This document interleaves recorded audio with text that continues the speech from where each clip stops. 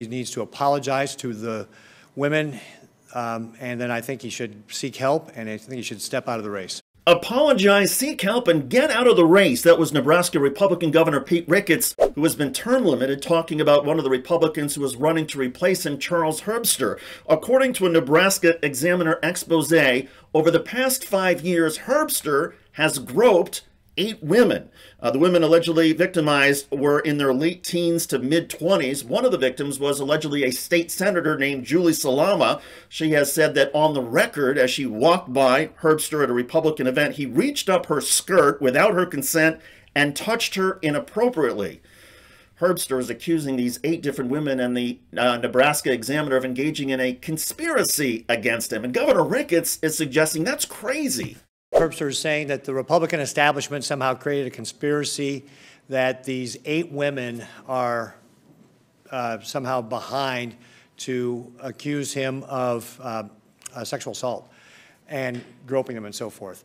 And I would say just read the article because that article is probably one of the most well-researched, corroborated articles I've ever seen on this topic. And you've got eight women who are part of this article and one of whom are a state senator who's come forward, and I believe Senator Slama. I believe her. About Charles Herbster, he is a CEO who is very wealthy, very powerful in Nebraska politics. He's been a donor in Republican circles for many years.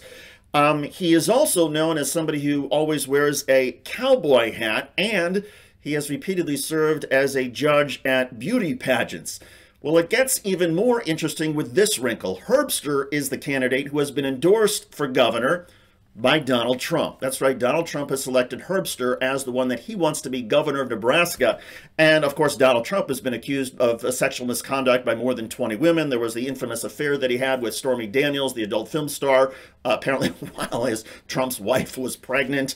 Um, and then, of course, there was the infamous audio tape where Donald Trump can be heard many years ago talking to Billy Bush about how he liked to grab women by the well, um, Governor Ricketts was asked, what's the difference between your condemnation, very strong condemnation of Charles Herbster now, and a somewhat different tone that Ricketts has taken towards Donald Trump?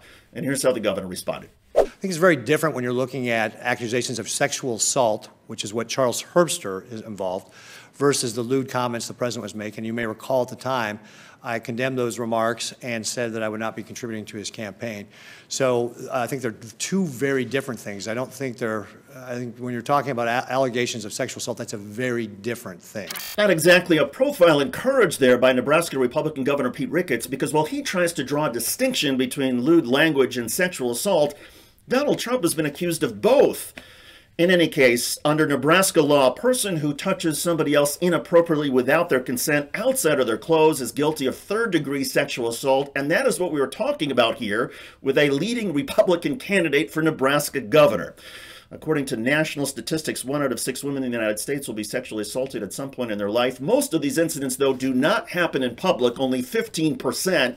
So that is why Charles Herbster is being seen, I suppose, as particularly brazen in what he has been doing.